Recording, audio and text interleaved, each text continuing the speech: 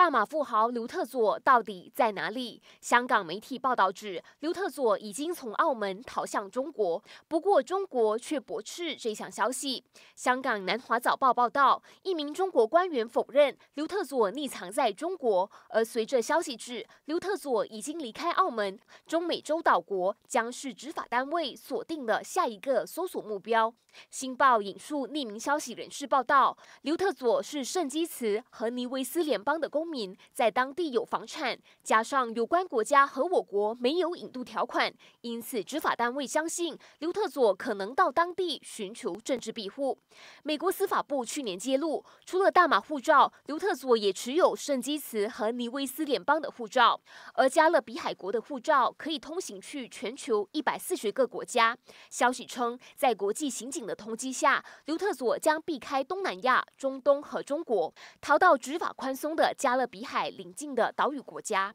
NTV 七综合报道。